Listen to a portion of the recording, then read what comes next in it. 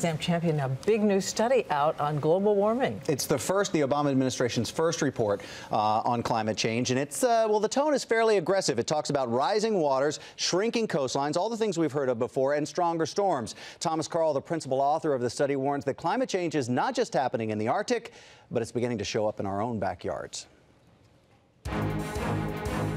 In this new Obama administration report, the government says climate change is happening all over America, and if we don't act now, it will drastically affect where and how we live in the future.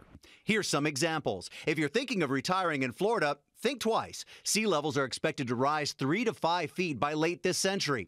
This 13 agency report shows southern Florida disappearing, with the Everglades, Florida Keys, and parts of Cape Canaveral underwater. And will we forget fresh powder ski weekends in the Northeast? NOAA says it's expected New Hampshire's climate will feel more like the Carolinas.